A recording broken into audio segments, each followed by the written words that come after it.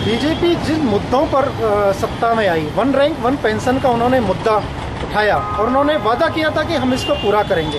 One rank one pension का मुद्दा आ, हमारे पूर्व सैनिकों ने उठाया हुआ था और इसी के मद्देनजर जब वो पूरा नहीं हुआ तो रामकिशन फौजी ने आत्महत्या कर ली और आरएमएल में कल उनकी मौत हो गई। इसी सिलसिले में उनके परिवारजनों से मिलने कल राहुल गांधी जी वहाँ पर गए थे।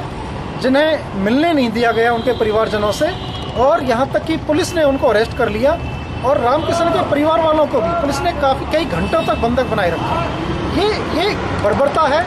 ये कानून से खिलवाड़ करने का काम बीजेपी कर रही है और ताकत के बल से, सत्ता के बल प्रयोग करके वो ऐसा कर रही है जो कि उनकी पुरानी मांग है और जिसको पूरा करने का वादा बीजेपी बीजेपी सरकार कर चुकी है और अभी तक भी वो पूरा नहीं हुआ है। और फौजियों से मिलने, उस उनके परिवारजनों से मिलने जब राहुल जी गए तो वहाँ पर लाठीचार्ज का प्रयोग किया और उन्हें हिरासत में लिया गया।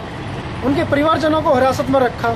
तो इसी के खिलाफ सारे जिला मुख्यालयों पर ये प्रदर्शन हमने किया।